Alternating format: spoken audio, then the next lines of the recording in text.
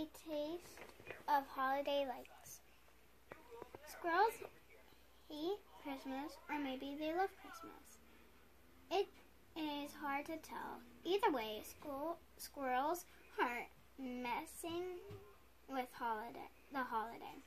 The month my great raccoon saw a squirrel taking her Christmas lights. She filmed it running off with the bulbs. It was taking them one by one. He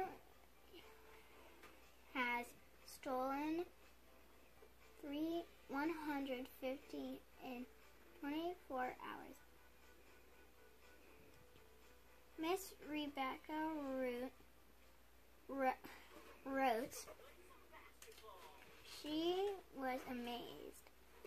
It was the hardest, hardest working squirrel she had ever seen.